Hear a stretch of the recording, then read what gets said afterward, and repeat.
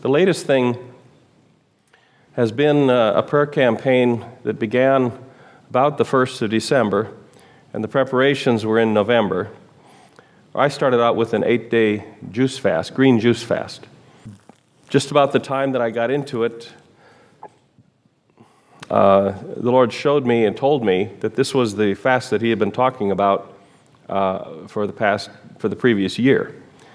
Um, and, uh, you know, and every time I asked him, he, he, never, he said, no, not time yet.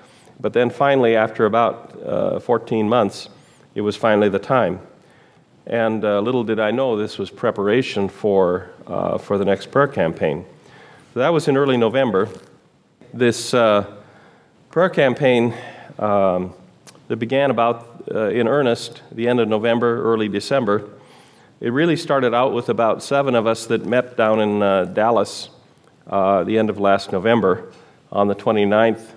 Um, we met in a hotel room and uh, revelation session so that we understood a certain amount of stuff that we were to do and to decree, uh, but didn't really have a clear idea that this was the beginning of a rather long three month time of uh, spiritual warfare.